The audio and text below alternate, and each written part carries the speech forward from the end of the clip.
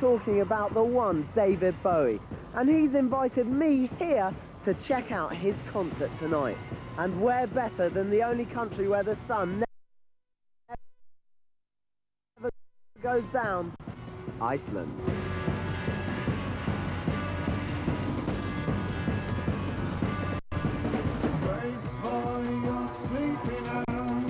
Iceland is, is totally cool. It's a fantastic place. Iceland kicks butt. Oh man, it's like a secret. The scenery is fantastic. The, the clubs, the, the cafes, the people.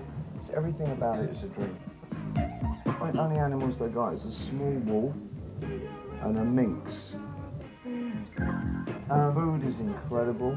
I'd like to introduce you to the Iceland tourist board. Yeah, absolutely. Meet Father Christmas. And, uh, make up And this- I'm one of the David says, come to Iceland, it's quite good.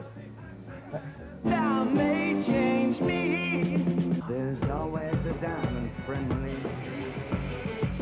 This thing with touring, it, it seems to be constantly evolving because from what I heard of the Outside um, album and what I heard about the tour, Yeah. is there's been a lot of changes going on. I mean, you're Yeah. playing a lot, um, or at least you're intermingling a lot more of, Yeah, you know, the older and I'm picking some strange pieces as well. I mean, we're doing, uh, it's a song I wrote with Iggy Pop in the 70s, Lust for Life.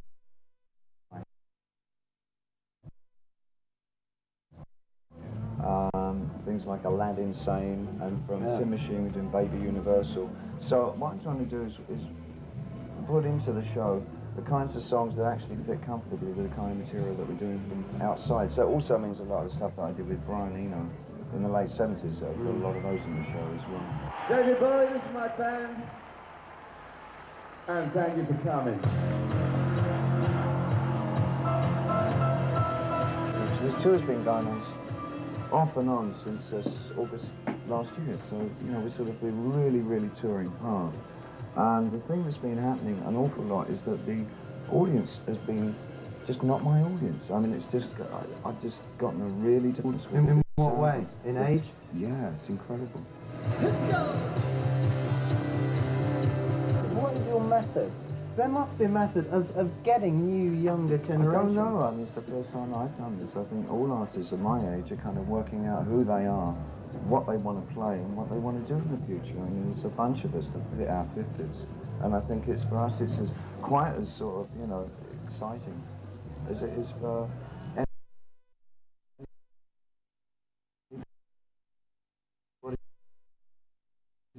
starting out in rock. But for us, it's a whole different thing.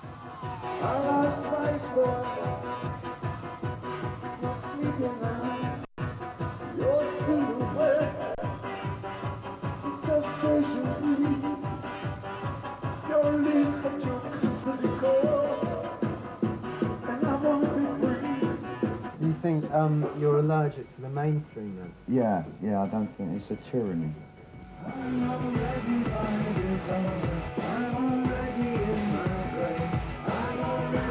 My intention always from the beginning was that I was going to be really stubborn and just go my own way. And if anybody was going to follow me, that was cool. And if they didn't, well, that was, you know, hard luck. But uh, I thought what I was doing was really interesting. And I thought, well, someone somewhere is going to like what I'm doing, you know. And I've gotten back into that. Oh no, not me. I never lost control. Your fights to fight with the man who sold the world. I read that you said, I, I'm a generalist. I take all forms of art. I said that in 1978, if I remember rightly. Fire. Yeah, I think I'm probably back to being a, a generalist now. So, um, So do spotter writing, you know, I like so does it mean to what end then? I'm doing something Your on your private life actually. Are you? Yeah, it's like a kind of a scoop thing, you know, for one of the tabloids. God, it was Gwendolyn. I've been trying to keep her out of the public eye for months now. Tragic. Crispin, Crispin and Gwendolyn. Shut up now. the Now real that's story. enough. Oh,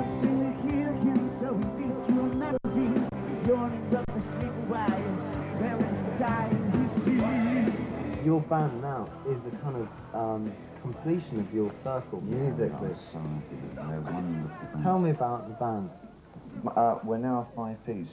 We're down to Reeves Gabrels on guitar, who was with Tin Machine. Gail Ann Dorsey, who's been with me for this last year. Under pressure. Zachary Alford is a young drummer um, from New York. Vicious. Mike Garson on piano, who was used to be with me at the end of the Spiders. He was he, he joined us on piano. And the last time we worked together was 1974. Oh, yeah.